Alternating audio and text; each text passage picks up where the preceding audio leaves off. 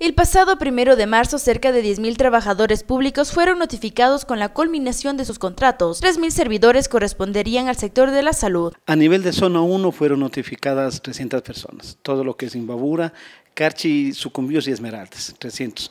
De los 300 que fueron notificados, la mayoría son los que hacen trabajo operativo.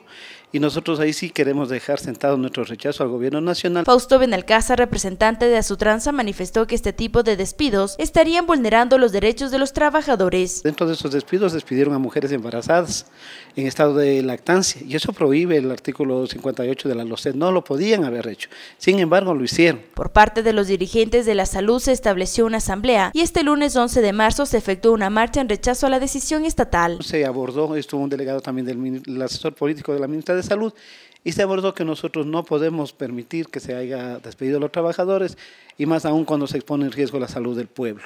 También se abordó que nosotros como dirigencia pedimos el reintegro inmediato de todos los que fueron despedidos.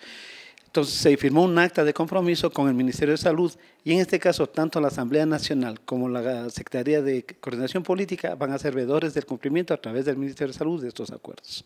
Benalcázar informó que este 13 de marzo se firmó un acuerdo entre los Ministerios de Salud y de Trabajo junto a los dirigentes para que se haga un estudio técnico y pedir los reingresos, proceso que iniciará en las zonas 9, 8 y 4. En la siguiente semana seguirán con el resto de zonas en las que ya se le incluirá también a la zona 1, a la que pertenecemos como Ibabura.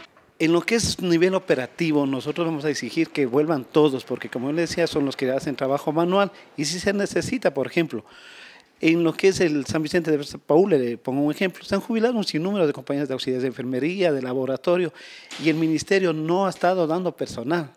Y eso está coadyugando un gran sacrificio a los compañeros pocos que están quedando y se están jubilando más. Entonces, nosotros pedimos que más bien se restituya esas partidas de los compañeros jubilados, porque caso contrario, no se podrá garantizar una atención de calidad y calidez como es visión del Ministerio de Salud. Los dirigentes estarán pendientes de esta revisión en cumplimiento de sus derechos. Con cámaras de Diego Martínez para TVN Canal, Eliana España.